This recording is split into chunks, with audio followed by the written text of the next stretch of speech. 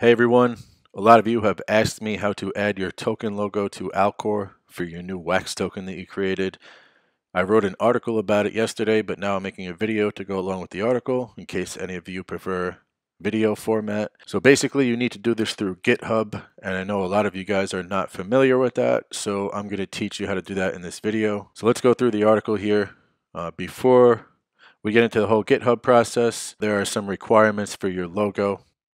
It should be small. 64 by 64 pixels is ideal. Yeah, that's very small and usually a little bit blurry. I mean, I know Alcor doesn't usually enforce this too strictly, but that's what they want. They want 64 by 64. So that's what you should give them. If it's a little bit larger, I'm sure it's not a problem, but make sure it's square. It should have a transparent background and it should be in PNG format and here's an example right here. This is just a little WaxDAO logo that I used. And it also has to have a specific naming convention. So I'm going to get my notepad out here. Uh, let's just say the wax token, for example, like actual wax, WAXP. The token symbol for wax is wax, W-A-X. The contract is EOSIO.token. When you submit your logo to Alcor, the way that it has to be named is like this. It has to be all lowercase. It has to start with the token symbol. So in this case, it would be wax you put an underscore like this, and then the contract name also in lowercase, so eosio.token, and then dot .png, right? Just like I have the WaxDAO token, and the contract name for that is MD Crypto NFTs. When I save this, it should be saved as WaxDAO, all lowercase, with an underscore, and then MD Crypto NFTs dot .png. That's how it should be saved. So 64 by 64 transparent background image, lowercase token name, underscore, lowercase contract name, dot PNG.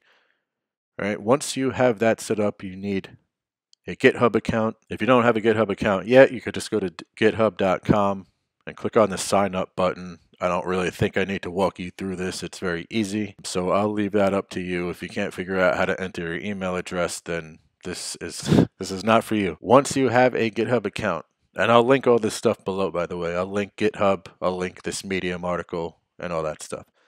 Um, and I'll also link Alcor's GitHub repository because that's the next thing that you're going to need to do. Once you have your GitHub account, you're going to go to Alcor's GitHub repository, linked below the video. And then once you're there, you will see this little thing that says fork up here.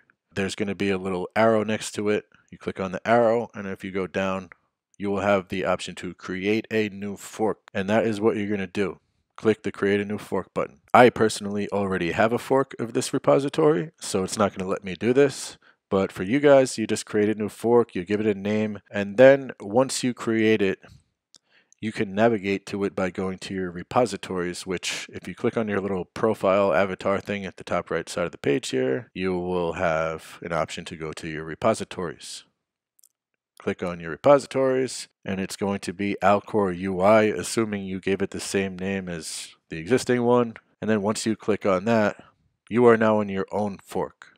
You'll notice here at the top of the screen it says MD Crypto NFTs, which is my GitHub account slash Alcor UI. For you, it should say your GitHub account name slash Alcor UI.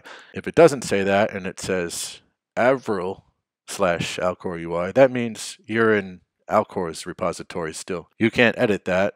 You need to be in your fork. So make sure this says your GitHub account name slash Alcor UI. Now what we need to do is we need to upload our token logo into this. We're going to do that by going into the assets folder here and then we're going to scroll down to not logos or images, but tokens. We're going to go down in the tokens folder. And then we're going to click the name of the blockchain that we are hosting our token on. For me, this is Wax. For you, maybe it's EOS. I don't know. But assuming your token is on Wax, you're going to click on the Wax folder. And then you'll see a bunch of images in here.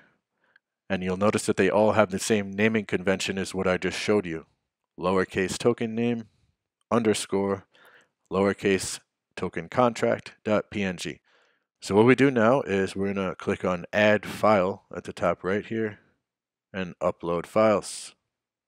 You can just click on this little box here, navigate to your token logo, and upload it into the repository and click commit changes.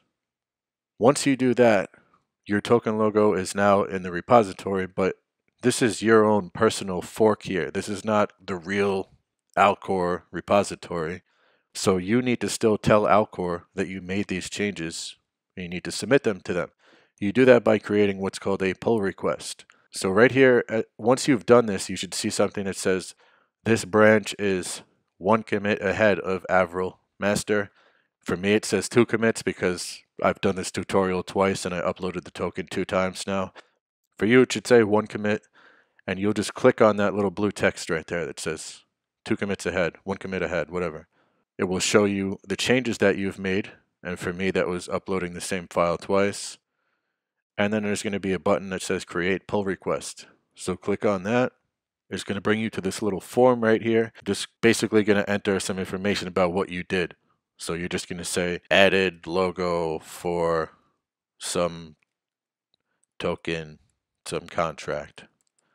And then you don't really need to say anything else because that's pretty much it. If you want to elaborate a bit in here, you can leave a comment and then click on the create pull request button. I'm not going to click that because I'm not actually adding a logo right now, but once you click that button, you are finalizing your submission.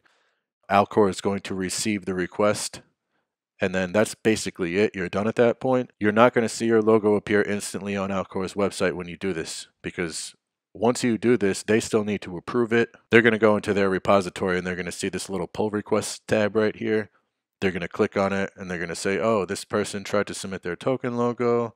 This person tried to do this. And then they're going to have to go through them and, you know, decide whether or not they want to approve them and stuff. After they approve it, then you'll see the logo on their website. There's no like specific time frame that this happens in, but if you want, you can join their Telegram, which I'll link below the video. If it's been a while, just go into the Telegram and say, hey, I submitted the pull request. Can you check it out? And uh, that's basically it. If you have any other questions, leave them beneath the video. Thank you guys for watching, and I will see you next time.